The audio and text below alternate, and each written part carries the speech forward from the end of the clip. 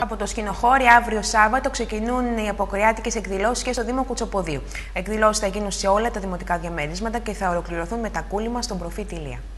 Ο Δήμος Κουτσοποδίου, εν μέσω οικονομικής κρίσης, αποφάσισε και φέτος να δώσει μικρές ανάσες ξενιασάς στους δημότες του και έτσι μέσω της Δημοτικής Βιβλιοθήκης έχει διοργανώσει ένα πρόγραμμα αποκριάτικων εκδηλώσεων και στα διαμερίσματα και στην έδρα του Δήμου.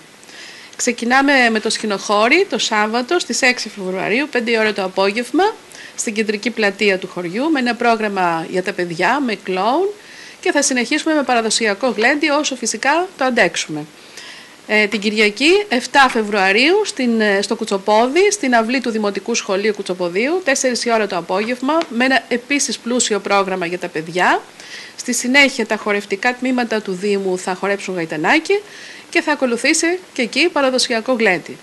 Και για τις δύο εκδηλώσεις, επειδή ακούμε ότι μπορεί να έχουμε και πρόβλημα με τον καιρό, έχουμε φροντίσει ότι αν έχουμε πρόβλημα θα γίνουν μέσα σε στεγασμένο χώρο για να μπορέσουμε να περάσουμε καλά. Ε, κατόπιν πάμε την Παρασκευή 12 Φεβρουαρίου στα Σταθέικα, στην αυλή του Δημοτικού Σχολείου, 6 ώρα το απόγευμα. Εκεί περίπου με το ίδιο πρόγραμμα όπως και στα υπόλοιπα διαμερίσματα. Το γλέντι αποκορυφώνεται στο Μαλαντρένι, όπως κάθε χρόνο, 14 Φεβρουαρίου, 3 η ώρα το μεσημέρι, στην κεντρική πλατεία του Μαλαντρενίου.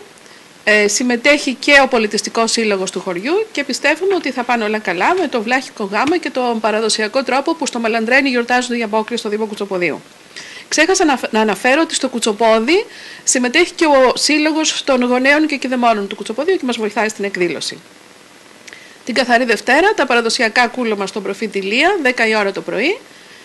Όλοι έχετε περάσει από εκεί και ξέρετε ότι περνάμε καλά.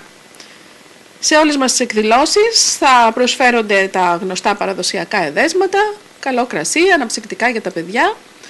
Καλούμε όλους τους δημότες μας και τους φίλους μας στις εκδηλώσεις του Δήμου και τους υποσχόμαστε ότι θα περάσουν πάρα πολύ καλά όπως πάντα.